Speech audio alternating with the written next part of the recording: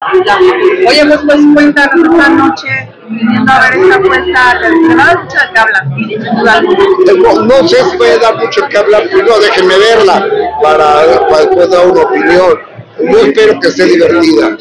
El precio de la fama, sí, ¿cuál ha sido el precio que has tenido que pagar justamente Mira. por estar en esta, en esta fama que te ha hecho? Yo tengo 40 años trabajando, entonces si tengo a- algún tipo de fama es resultado de mi trabajo, pero a mí la fama ni la busco, ni la necesito, ni la quiero, porque yo lo que quiero es ser reportero nada más. Entonces si tengo algún tipo de fama es de- como resultado de lo que hago. Obviamente, eh, el ser reportero, estar de este lado,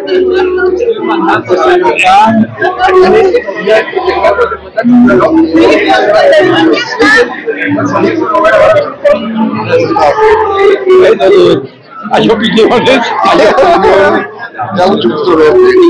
Gusto verte. Me da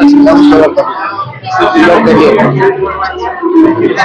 decía, precisamente el estar de este lado de la fama, del- del- del reportero, tú has tenido que hacer muchas preguntas incómodas para los, para los artistas.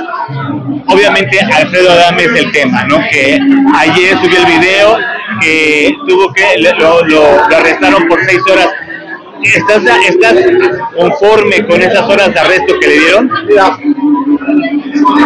no depende de mí, depende de un juez de control. Yo creo que fueron muy pocas horas para el hocico que tiene este cuate, ¿no?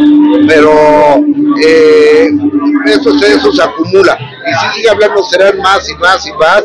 Y, y es el futuro que le depara eh, el destino a una persona como Adame, ¿no? Nada más es o la cárcel o la muerte. Claro. Oye, Gustavo, pero justamente en este punto, ¿tú qué opinas de que hoy en día los comunicadores se tengan ya que estar agrediendo entre artistas, comunicadores, comunicadores, artistas? ¿Qué hoy día hoy en día se tengan que agredir justamente entre comunicadores y artistas para estar siempre eh, vigentes.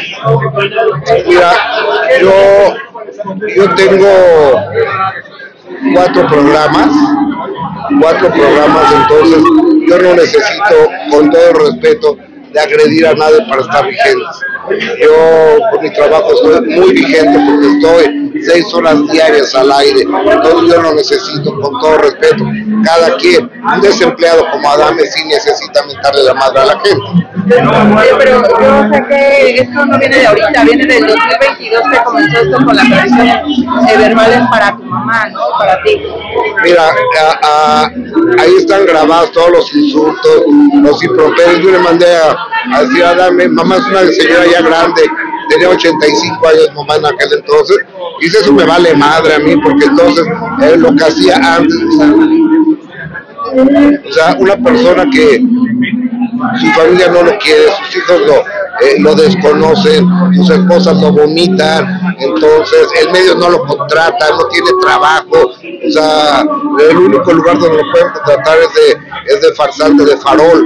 Entonces para, para hacer eso está muy bien, para que se meta a una pista de lodo a pelear, va a ensuciar el lodo. Claro. Oye, Gustavo, ¿y ahora cómo manejas precisamente tanto trabajo? Porque me queda tienes cuatro programas, aparte eres- estás como ejecutivo. ¿Cómo divides tu tiempo también ahora, pues con la familia que también es importante?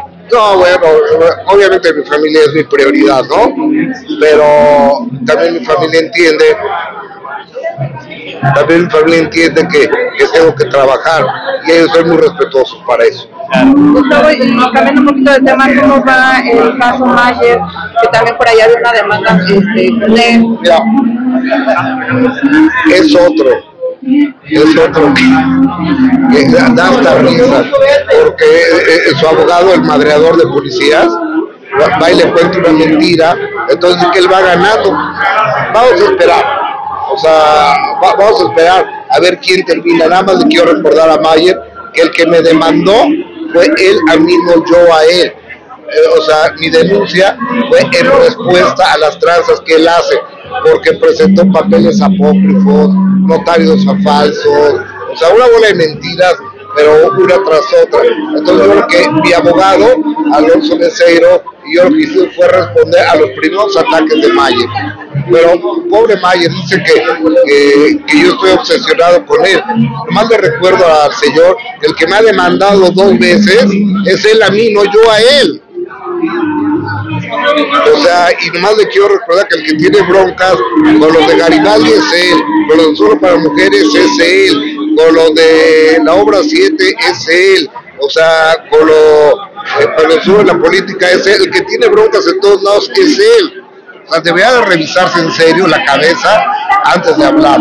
Oye, pero Ya me voy. hablando de este tema de precio de la fama, sí te ha tocado pagar un precio muy fuerte porque pues te ha tocado muchas demandas con muchísimos. Digo, le has ganado también a varios. Yo creo que la libertad de expresión no tiene precio.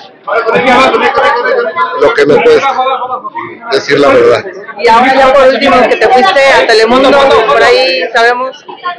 Voy mañana a Telemundo de invitado. No vas a estar en Telemundo. Mañana voy de invitado a Telemundo a un programa. Pero no, no te integras también a las filas de Telemundo, que estés en ambos May, pero mañana voy a Telemundo de, invitado. Es que to- to- todavía no, todavía no, no- todavía no lo sé. Gracias. Muchas gracias. Gracias.